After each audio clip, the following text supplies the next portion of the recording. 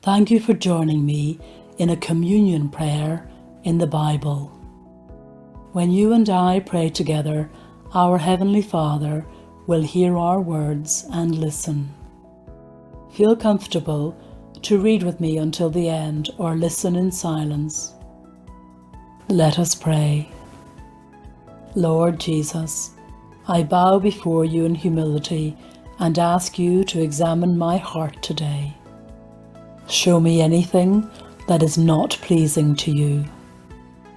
Reveal any secret pride, any unconfessed sin, any rebellion or unforgiveness that may be hindering my relationship with you. I know that I am your beloved child, having received you into my heart and life, and having accepted your death as penalty for my sinfulness. The price you paid covered me for all time, and my desire is to live for you.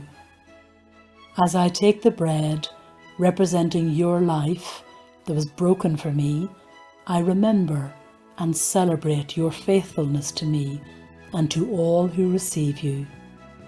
I can't begin to fathom the agonizing suffering of your crucifixion.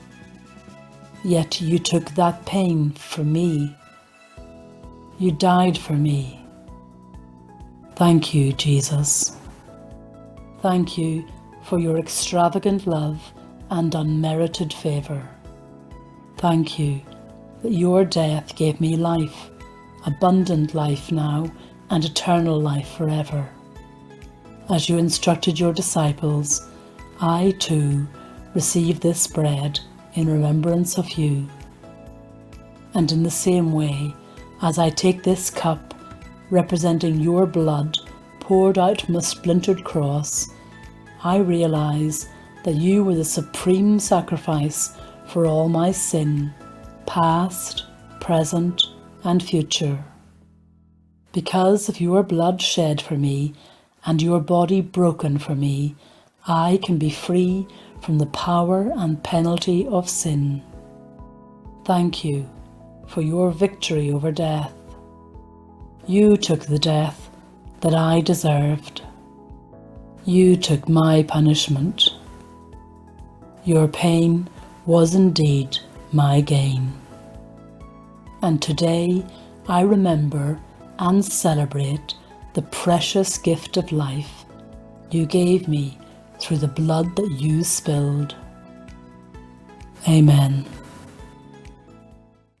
We believe in you, our Lord, and give you glory for answering our prayer. In the name of Jesus Christ we pray. Thank you for praying with me today.